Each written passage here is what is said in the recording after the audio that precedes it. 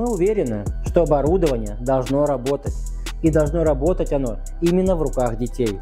Освещая всю деятельность центра на информационных ресурсах, они доказывают это на деле. И вот уже три года опровергают одно из главных заблуждений о том, что если доверить что-то детям, то они сделают это плохо.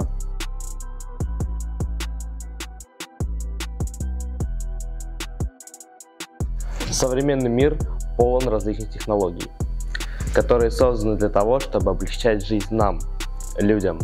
Слова Евгения Викторовича подтолкнули нас к идее о подготовке серии видеороликов, в которых мы вам расскажем, какое оборудование находится у нас в распоряжении и как мы с ним работаем.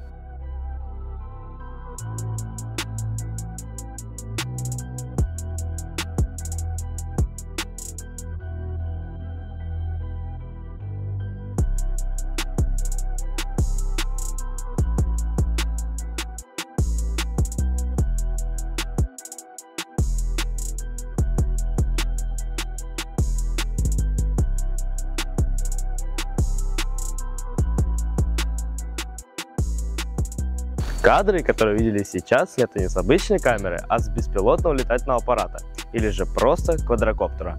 Давайте разберемся, что он из себя представляет.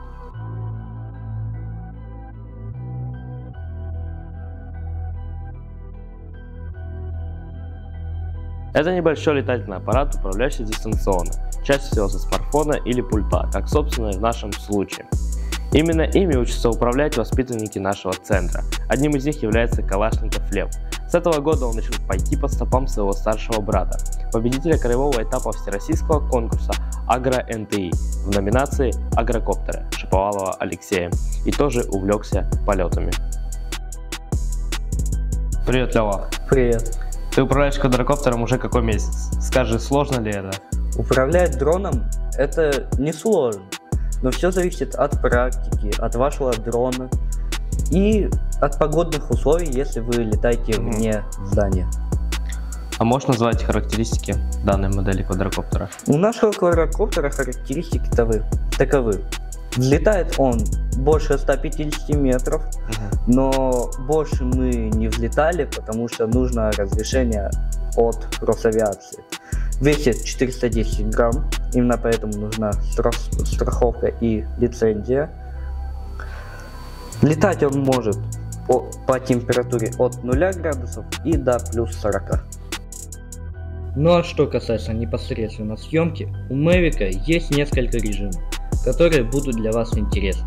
Например, Quick Shot Дрон будет распознавать объекты, которые вы хотите снимать. Этот режим идеален для съемки живописных мест, ну или красивый закат. У него есть несколько подвидов. Дрончик. Удаление от выбранной точки по высоте и расстоянию. Ракета. Удаление от объекта, только по высоте, как при старте ракеты. Круг. Облет выбранного объекта на текущих расстояниях, расстояниях и высоте. Спираль.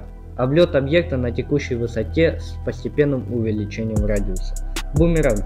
Облет объекта по траектории полета бумеранга с удалением от объекта и приближением к нему. Астероид.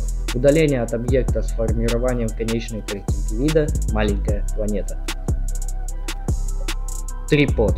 Этот режим значительно снижает чувствительность системы управления. Это позволяет прокладывать точный маршрут, а также снимать замедленные и плавные кадры. Функция Active Track должна дать вам возможность снимать движущийся объект автоматически и, и без помощи рук. При помощи нее дрон летит за выбранным объектом сзади или спереди, сохраняя его в поле зрения. Point of Interest. Облет достопримечательностей. Сначала дрон след, следует подвесить в воздухе над, над нужным объектом, а затем задать высоту и радиус окружности. Скорость об, облета небольшая, но при большом радиусе может занять и несколько минут.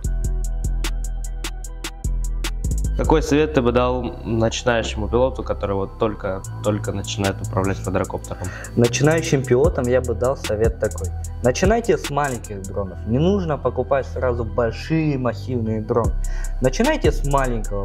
Просто возле стульчиков летайте по зданию. Угу. На улицу сразу выходить не нужно. Спасибо за интервью, Лева. Удачи и всего хорошего. Тебе тоже. Спасибо. Как сказал Лева, управлять квадрокоптером просто. Так ли это на самом деле, я проверю потом. А сейчас несколько интересных фактов о дронах. Первый квадрокоптер был создан в 1922 году русским авиаконструктором Георгием Батызатом. Квадрокоптер не просто игрушка, а беспилотный летательный аппарат, который необходимо регистрировать, если взлетная масса составляет больше 250 грамм. Управляющий квадрокоптером называется командиром воздушного судна. Самый маленький дрон имеет ширину всего 3 см, но он ничем не отличается от стандартных аппаратов. Swampworks разработали дрон, который будет исследовать поверхность Марса. Он может разведать те места, до которых наземный ровер попросту не может добраться. Современный мир не стоит на месте, и нам не нужно отставать от него. А пока до скорых встреч! Увидимся в следующем выпуске. С вами был Шаповалов Артем и специальный гость этой рубрики Калашников Лев. Всем удачи и всего хорошего!